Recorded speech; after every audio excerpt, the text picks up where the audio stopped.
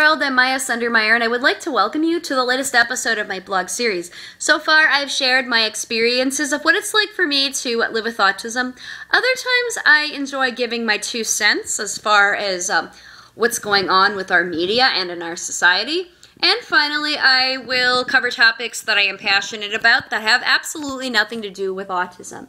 And those two examples are in three weeks, I will be going to Furry Weekend Atlanta 2015, and I will be doing several blogs there with my guest co-host Andrew Dixon. Now he came to DragonCon 2014 with me, and I just thought it worked out really, really well.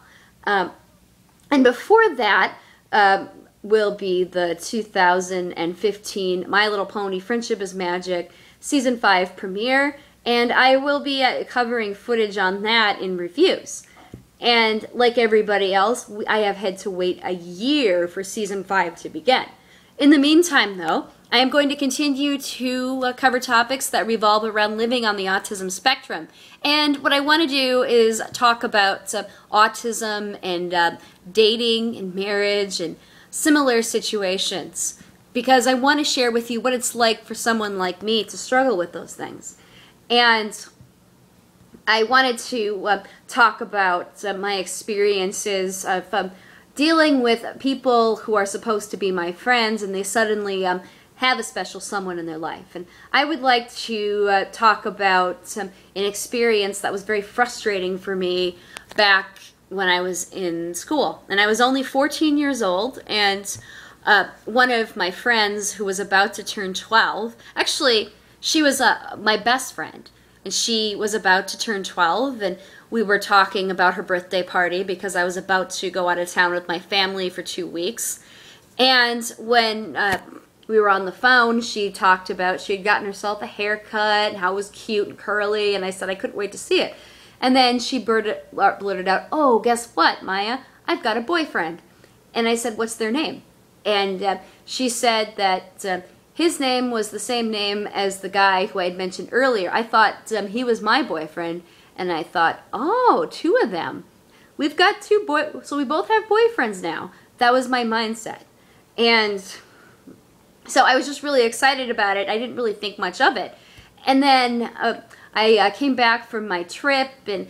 I uh, asked my friend who was all going to be there, and it just turned out that it was going to be her boyfriend, and his friend and myself, and then her fam her par- her family, which is her mother, her, her mother and her half brother.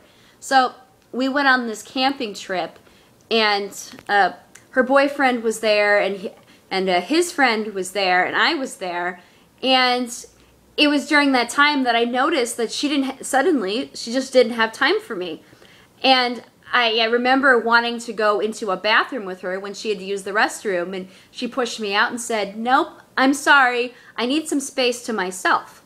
And during that entire camping trip, uh, she and her boyfriend ignored me, and she kept spent and she kept spending time with him and his friend. And then uh, she kept manipulating me and saying, "Well, my husband, my boyfriend's got a headache. Can you please go get the Tylenol for us?" And I was trying to sleep. And her mother thought that I was having an attitude and I wasn't being very nice. And then when I apologized, she said, Oh, never mind. You were just jealous that um, the other two people were here and you're just not used to it. And it was after that that she suddenly lost her interest in me. And then I, I wasn't even uh, acting like a teenager. I mean, I was functioning maybe at the level of um, a seven year old. I mean, I still like Disney cartoons. I mean, I still uh, had a lot of poor social skills that I had to work on. But I just remember uh, feeling like she couldn't understand me anymore because she was becoming a teenager and I still wanted to be a kid in so many ways. And it was like that with junior high. So I was very upset about it. Anyway, um, we're out of time. I, what I would like you to do is um, post your questions and comments below.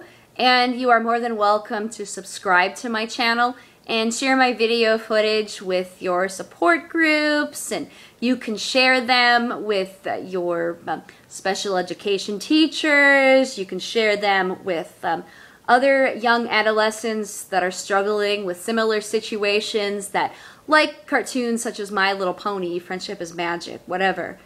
Uh, either way, um, I will see you next time, and I'm Miyah Sundermeyer.